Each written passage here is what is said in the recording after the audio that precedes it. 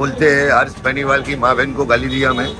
अभी तो गालियाँ दी, अभी तो मारूँगा चीज़ें भी हो गई थी बट इस वीडियो में एटलीस्ट मेरे को 15 से 16 दिन दोस्तों आप जानते होंगे कि कुछ टाइम पहले हर्ष बेनीवाल ने आजाज खान पर रोस्ट किया था। तब बहुत तगड़ा सीन हो गया था और आजाज खान ने हर्ष बेनीवाल को लेकर कमेंट भी पास किया था। तो ये चीज़ वापस एक्टिव हो गई है। यानी कि आजाज खान अगेन हर्ष बेनीवाल को रिप्लाई किए और कहे कि वो हर्ष को नहीं जानते थे। फिर भी उसने ऐसा किया। तो आजाज खान कहे कि वो हर्ष बेनीवाल को पीटेंगे। आप देखिए। बोलते हैं हर्ष बेनीवाल की माँ बहन को गाली दिया मैं।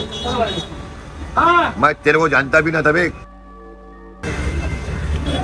तुम लोग मेरे नाम पे फेम लेते हो बेटा, हा? उसके बाद फिर मेरे को ऐसी गालियाँ आती है बेटा। पठानों को दो ही चीज़ आती है अच्छे ज़्यादा प्यार और बेहद नफरत। समझे क्या? अभी तो गालियाँ दी अभी तो मारूँगा भी मैं, याद रखना। एंड तो नेक्स्ट अपडेट में बात करते हैं पूरव झा की। तो बेसिकली पूरव झा एक बहुत अच्छे एंटरटेनर है। तो अभी वो एक खतरनाक स्केच तैयार कर रहे हैं। पर उसमें थोड़ा ज़्यादा टाइम लगने वाला है तो इस वजह से पूरव झा थोड़े परेशान हो गए हैं और कहे की वो आने वाले प्रोजेक्ट को थोड़ा और होल्ड पर डालेंगे, ताकि बेहतरीन वीडियो निकल कर सामने आए। जिस वीडियो में पूरव झा ने काफ़ी ज़्यादा खर्चा कर दिया है, यानी कि वीडियो का बजट ओवर क्रॉस हो गया है। आप देखिए इंस्टाग्राम स्टोरी पर वो क्या खाए। हाय गाइस आप लोगों से एक जेन्युइन सलाह चाहिए तो प्लीज़ आप ये जो स्टोरी है पूरी देखें। लास्ट अभी मैंने बताया था कि मैं एक स्क्रिप्ट पे काम कर रहा हूँ, जिसको मुझे करने में एटलीस्ट 45 डेज़ लग गए। स्क्रिप्ट कंप्लीट है, हम लोग फ्लोर पे उतरने के लिए रेडी हैं प्रोडक्शन वगैरह सारी चीज़ें भी हो गई थी। बट इस वीडियो में एटलीस्ट मेरे को 15 से 16 दिन शूट करने में लगेगा देन एडिटिंग में 15 से 20 दिन जाएगा। और मेरे चैनल पे ऑलरेडी काफ़ी गैप हो चुका है, काफ़ी टाइम हो चुका है जहाँ वीडियो नहीं आई है। तो मैं ये सोच रहा हूँ कि इस वीडियो से पहले मैं एक छोटी वीडियो डाल दूँ लाइक like, स्पूफ नहीं मैं स्केच ही बनाऊँगा बट uh, एक छोटी वीडियो मैं सोच रहा हूँ डाल दूँ और इस प्रोजेक्ट को थोड़ा सा होल्ड पे डालना चाह रहा हूँ मैं लाइक like, कि मैं इसको नवंबर uh, एंड में शूट करूँ और बढ़िया से क्योंकि टाइम लगाए मैं चैनल की बेस्ट वीडियो होगी तो बेस्ट हो। इसको मैं और अच्छे से टाइम दूँ। इससे पहले मैं एक छोटी वीडियो डाल दूँ या नहीं डाल दूँ ये मैं पूछना चाह रहा हूँ आपसे। स्क्रिप्ट खत्म हुई थी हम लोग एकदम खुश थे कि भाई अब कुछ फाड़ेंगे चैनल पे अब मज़ा आएगा। लेकिन जब बजट लिस्ट बनी प्रोडक्शन लिस्ट बनी तो मेरी फट गई भाई। मेरे औकात से बिल्कुल बाहर है ये वीडियो फ़िलहाल। लेकिन फिर भी मैं बनाऊँगा हंड्रेड परसेंट मैं बनाऊँगा। बस एक आधे महीने का मैं होल्ड देना चाहता हूँ, क्योंकि इस महीने, अगले महीने बहुत ज़्यादा अप डाउन है। मेरे को इधर उधर थोड़ा अलग काम भी, अलग प्रोजेक्ट्स भी किए हैं मैंने, उसके चक्कर में मेरे को अप डाउन करना पड़ रहा है। तो मैं टाइम नहीं दे पा रहा अपने चैनल के लिए, और मेरे को उस चीज़ का बहुत अफसोस है। इसलिए मैं चाह रहा हूँ कि पहले मैं छोटी मोटी वीडियो छोटी मोटी बकचोदी जो भी है वो मैं डाल दूँ।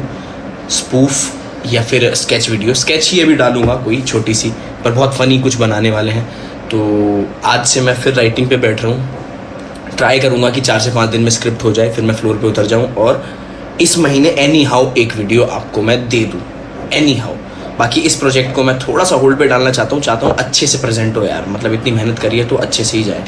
तो एंड तो नेक्स्ट अपडेट में बात करते हैं थाराबाई जोगिंदर की। तो आप देखे होंगे कि अनिरुद्ध आचार्य अभी बिग बॉस में गए हुए थे। कुछ घंटों के लिए तो उन्होंने कंटेस्टेंट से बात वगैरह की। तो चीज़ से लोग कहने लगे कि आपने मना किया था कि आप बिग बॉस में नहीं जाओगे, फिर भी गए। तो इस पर लोग गुस्सा हो गए। तो हाल ही में जोगिंदर भी अनिरुद्ध आचार्य जी पर रिएक्ट किए और कुछ ये कहे, आप देखिए। ये बाबा अनिरुद्ध आचार्य जी। इन बाबा जी के पास लाखों लोग आते हैं इनके दर्शन करने के लिए। ये कथा सुनाते हैं कृष्ण जी की, राम जी की। लोग अपने दुख समस्या इनके पास हाजिर करते हैं। ये उपाय बताते हैं। आज तुम्हें श्री राम जी की कसम है इस वीडियो को इतना शेयर करना ताकि हिंदुस्तान का हर एक कोने के अंदर ये वाली वीडियो जाए। बिग बॉस है प्रोग्राम है, वहाँ पे गाली गलौच वाले लोग रहते हैं। वो संस्कारी लोग नहीं होते, इसलिए मेरा वहाँ जाना सही नहीं होगा। इसलिए मैंने उस ऑफ़र को ठुकरा दिया।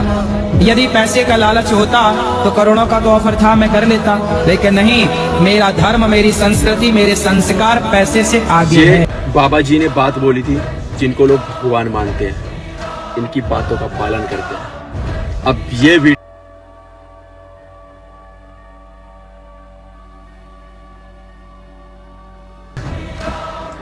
मैं बाबा जी को एक बात बोलना चाहता हूँ कि पैसों के लिए आपने सबका विश्वास तोड़ दिया आपको नहीं करना चाहिए था हिंदुस्तान के लोगों के साथ ऐसा। जो लोग आपकी पूजा करते आपको भगवान मानते हमारे हिंदुस्तान के अंदर बाबा को लोग इतनी इज़्ज़त देते हैं। आपने कितने बाबा के ऊपर ये सवाल उठा दिए?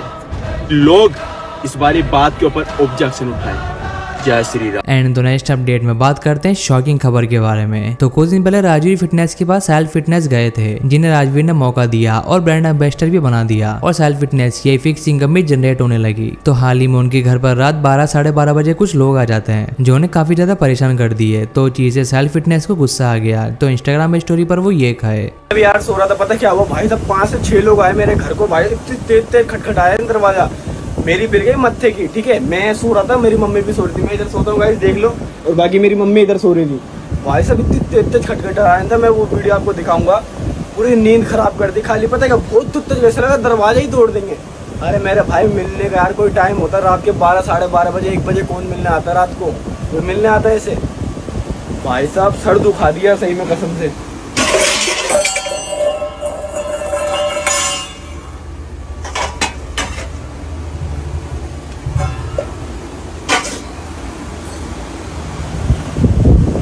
मेरी मम्मी भी टेंशन में हो गई, भाई साहब कौन आ गया, मेरी मम्मी, भाई साहब हाथ पतली हो गई। ऐसे घबराने के लग गई, भाई कौन खटखटा रहा थे दरवाज़ा पे, भाई ऐसे मत आया करो यार घर के अंदर। मेरी हो गई मत्ते की दही। रात के एक बजे, दो बजे, साढ़े बारह बजे कौन मिलना आता है बताना। तो भाई, मैं तो चल भाई उठ जाऊँ तो मुझको कोई दिक्कत नहीं होगी। भाई मेरी अम्मी मेरी अम्मी की थोड़ी एज है। तुम ऐसे खटखटा रहे हो आके दरवाज़ा गुस्सा नहीं आएगा क्या? एंड तो नेक्स्ट अपडेट में रजत दलाल को लेकर लक्ष्य चौधरी अपने वीडियो में कुछ कहे, जिन्होंने हाल ही में रोस्ट वीडियो अपलोड किया है, जहाँ आप जानते होंगे कि रजत दलाल लक्ष्य चौधरी के दोस्त हैं। तो रिसेंटली बिग बॉस में जाने के बाद लक्ष्य चौधरी ने रजत दलाल के ऊपर रिएक्ट किया, आप देखिए। इस सीज़न का सबसे बड़ा और कॉन्ट्रोवर्शियल नाम है रजत दलाल। रजत का नाम तो पक्का सलमान भाई ने प्रपोज किया होगा, क्योंकि एक कार लवर ही दूसरे कार लवर को पहचान सकता है। इस सीज़न बीबी के वीकेंड के वॉर में खेला जाएगा need for speed multiplayer mode तुम समझदार दिखते नहीं हो लेकिन समझदार हो। आज से तुम हमारे साथ हो। Bigg Boss Jio cinema premium पे आता है उनतीस रूपए महीना। मतलब रजत भाई की आधे से ज़्यादा ऑडियंस तो फ़िल्टर आउट हो गई। रजत भाई को बिग बॉस में भेजने के लिए बहुत सारे लोगों ने मेहनत की है। उनसे पिट कर। रजत दलाल के लिए मैं ज़्यादा कुछ बोलूँगा नहीं। पता चला पहले ही हफ़्ते में बाहर आ गया और फिर मुझे अपनी वाइल्ड कार्ड एंट्री के लिए यूज़ कर लिया। रजत का नाम आते ही बिग बॉस ने इस बार घर से जिम हट साथ ही थगेश का भी रजत दलाल के ऊपर रिएक्शन आया जो कुछ ये गए अपने वीडियो में। रजत दलाल का होना था इस बिग बॉस में? देखो मैंने एक पंच लाइन के लिए बाल कटाया है मैं सच्ची बोल रहा हूँ सच, सच्ची बोल रहा हूँ यस केसेस की बात हो ही रही है तो Rajat Dalal yes finally Bigg Boss के घर में अब दो डेंजरस ड्राइवर्स हैं। एक दिन रजत अंदर जाएगा ये तो मेरे को पता था। लेकिन बिग बॉस के घर में ये थोड़ा अनएक्सपेक्टेड तो था। हर सीज़न में एक बंदा ऐसा होता है जो टॉयलेट से रिलेटेड कोई कांड करता है। पुनीत नेजी और फिर रजत। लेकिन यहाँ पर चैलेंजिंग होगा रजत के लिए क्योंकि इधर हाथ चलाने के लिए नहीं ज़ुबान चलाने के लिए वोट मिलते हैं। मेरे को तो बुरा राजवीर के लिए लग रहा है जो इतना बार मुंबई का टिकट करा के आया इधर फालतू में। इजाज से फालतू में लपड़ा गया होटल टिकट बुक किया लास्ट में क्या मिला? कुछ नहीं मिला। इतनी बार इंस्टाग्राम पे लाइव आया डेटा गया वो अलग। बिना वजह गाली बर्दाश्त कर लेंगे भाई? क्या कोई बर्दाश्त ना करे। फिर भी बिग बॉस वालों ने नहीं बुलाया। राजवीर भाई वो तीसरा एस्ट्रोनॉट है जो चाँद पर गया लेकिन उसका नाम किसी को नहीं पता। बट रियलिटी शोज़ ऐसे देखने से ज़्यादा एक्साइटिंग और इंटरेस्टिंग पता है क्या है? मोमोज खाते खाते पैसा कमाना। ध्यान से सुनो अभी यूपीआई वगैरह तो आप सब यूज़ दोस्तों वीडियो अच्छा लगा हो तो वीडियो को लाइक कीजिएगा और चैनल बने हो तो चैनल को सब्सक्राइब कीजिएगा। मैं ऐसे ही वीडियोस लेकर आता रहता हूँ।